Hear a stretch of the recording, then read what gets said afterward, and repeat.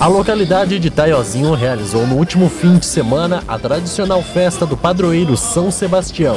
Muita gente prestigiou no sábado o baile animado pela Banda Real do Paraná.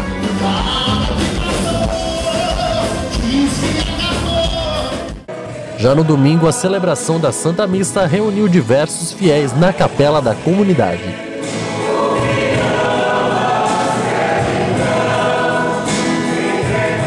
Durante o dia ocorreu um torneio de futsal. Ao meio-dia foi servido o tradicional almoço e, na sequência, foi realizado o bingo da festa.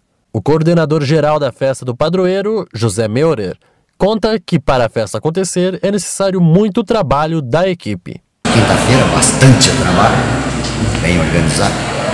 A minha equipe é muito boa, a gente pega junto. E agora depende do povão vir. Meurer explica que a cada ano os organizadores se empenham em realizar uma festa maior e melhor e agradece a grande participação da população. A ideia seria sempre melhor. Santa Júlia do Campo, Santa Terezinha, ao redor, Salete, o pessoal participa bastante. Rio Paulo, né? Santa Maria. Durante todo o domingo, diversas equipes participaram do torneio de futsal. Se chora, lá se ri, lá se come, lá se bebe, se quiser pode dormir.